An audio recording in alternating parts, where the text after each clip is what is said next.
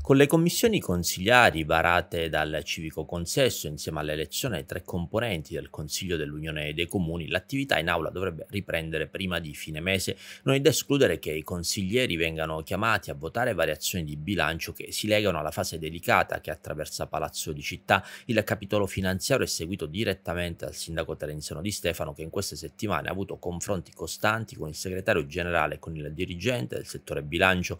Va conclusa l'attività dei riaccertamenti versamenti e residui attivi e passivi per l'anno 2022. Il traguardo rimane il bilancio stabilmente riequilibrato che permetterebbe all'ente di uscire dalle ambasce del dissesto, peso non da poco per la programmazione amministrativa. Le variazioni di bilancio, come già dimostrato durante la precedente consigliatura, sono effetto diretto del dissesto e della necessità di salvaguardare gli equilibri finanziari del municipio e gli impegni assunti. Il presidente del Consiglio Comunale Paola Giudice, qualora dovessero pervenire sul suo tavolo proposte di variazioni da portare in aula, predisporrà eventuali integrazioni dell'ordine del giorno ancora in essere. In settimana, inoltre, al pari delle altre, si costituirà formalmente la Commissione Bilancio che avrà un ruolo politico e di controllo prima del passaggio degli atti all'Assemblea cittadina.